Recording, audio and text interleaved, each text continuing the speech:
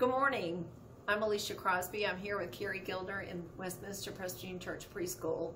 And we're all alone. As you know, all the boys and girls are not here today and haven't been and most probably won't be for a good while. And it's very quiet and we miss them very much. We are trying to come up with new ideas to engage them.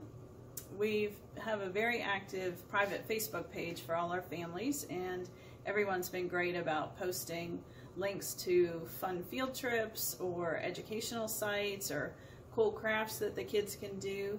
And the other day, Alicia went to the playground and had a naming contest for our new trees that we planted.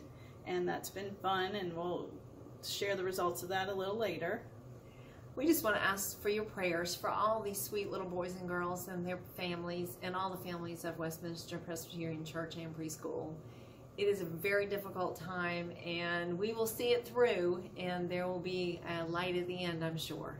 So we wish you God's blessings. Bye. Bye.